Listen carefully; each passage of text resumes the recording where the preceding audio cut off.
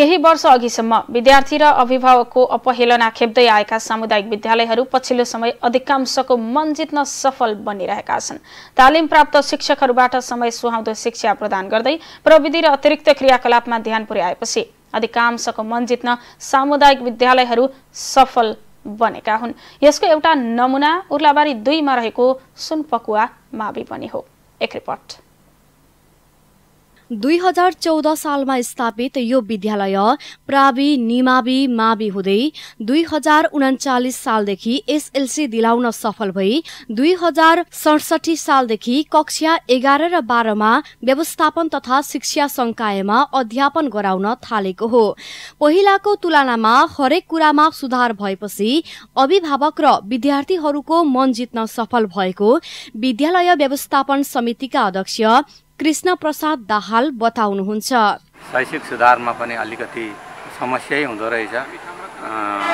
सरहरूले अलिकति सरकारी त हो नि कसले के गर्छ र हामीहरूलाई कसले सौराह पनि गर्न सक्दैन हाम्रो जागिर पनि खोज्न सक्दैन भन्ने हिसाबले अलिकति हेलचक्राइ गर्ने समयमा नआउने समय नपुगिकन निक्लिएर जाने अथवा कक्षामा पनि पढ विद्यार्थीहरूलाई पढ पढ होमवर्क गर मात्रै भन्ने तर चेक नगर्ने त्यो समस्याहरू हुँदो रहेछ र त्यसलाई पनि हामीले सुधार गर्दै रहेका छौँ र अहिले अभिभावकहरू यस क्षेत्रका विद्यार्थी अभिभावकहरू अलिक सुनपोका माविप्रति सन्तुष्टि नै भए हुनुभएको मैले पाएको छु। सुगम स्थलमै भए पनि दुर्गमको पीडा भएको यस विद्यालयको समस्यालाई सुधार गर्न विद्यालय व्यवस्थापन समिति अभिभावक स्थानीयवासीको साथ पाएर सम्बन्धित निकायमा पहल गर्दा आएको बजेटबाट पुराना संरचना हटाई तीनवटा पक्की भवन बनाउन सफल भएको विद्यालयका प्रधानाध्यापक भूमिराज प्याकुरेल बताउनुहुन्छ।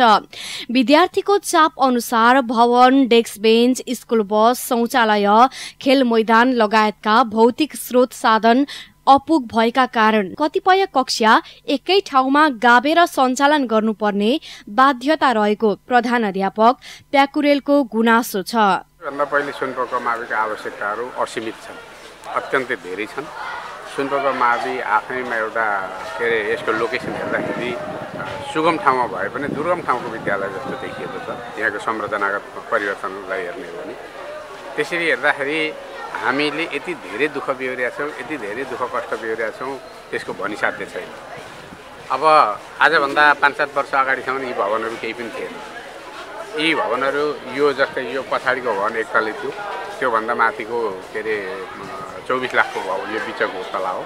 चौबिस लाखभन्दा माथिको अठार लाखको गत वर्ष राष्ट्रपति शैक्षिक कार्यक्रम गत वर्ष होइन त्योभन्दा अघिल्लो वर्ष अठार लाखले बनेको त्यो माथिको। यो भवन आठकोठे भवन बहत्तर सालको भूकम्प पछाडि धेरै हामीले दौडधुप गरेर त्यसको प्रयासबाट यो साठी लाख बजेट आएर बनेको कुनै समय विद्यार्थीको संख्या घटेर सुनसान भएको विद्यालय शैक्षिक प्रशासनिक र भौतिक अवस्थामा सुधार आएपछि अहिले तेह्र सयको हाराहारीमा विद्यार्थीको चाप रहेको सहायक प्रधानाध्यापक नारायण चौलागाईले जानकारी दिनुभयो।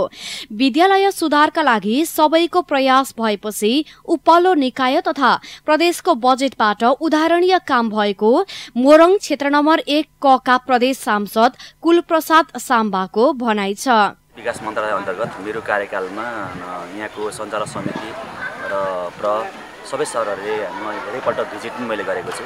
त्यतिखेर यहाँ एउटा भवन थियो त्यो भूकम्पले हल्लाएर धेरै ठुलो समस्या पारेको थियो। त्यही बेला चाहिँ के अरे हामी पहल गर्दाखेरि यो माथिको भवन यो माथि हेर्नुहुन्छ यो भवन चाहिँ के अरे पन्ध्र लाखको काम भएको छ। त्यसपछि फेरि नै यो यो बिचमा यही के अरे सालको बिचमा यो दस लाखको बजेटको काम आएर तिन कोठेको भवन सम्पन्न भएको छ। म सञ्चालक समिति र प्रदेखि सबै टिमलाई म आवेदन चाहन्छु उहाँहरूले एकदम यस्तो राम्रो काम गर्नुभएको छ यो नमुना काम भएको छ। कार्यालय कक्षको पहिलो तला संघबाट प्राप्त भएको चौबिस लाखबाट र माथिल्लो तला राष्ट्रपति शैक्षिक सुधार कार्यक्रमबाट प्राप्त भएको अठार लाख बजेटले बनेको हो। त्यस्तै आठ कोठे भवन निर्माणका लागि संघीय सहयोग साठी लाख र प्रदेशबाट प्राप्त भएको पन्ध्र लाखबाट कम्प्युटर जोन रेट्रो फिटिङ प्रदेशको विपद व्यवस्थापन कोषबाट प्राप्त दस लाखबाट आपतकालीन सहयोग विद्यालयमा खानेपानी दुईवटा क्यान्टिन लगायत विशेष कक्षा व्यवस्थापन साठी थान कम्प्युटर लगायत उपलब्ध भएका छन्। दुई बिघा साढे छ कट्ठा जमिन विद्यालय परिसरमै भएकाले यस क्षेत्रकै विद्याको धरोहरको रूपमा विकास गर्न सकिने बुद्धिजीवीहरूको धारणा छ।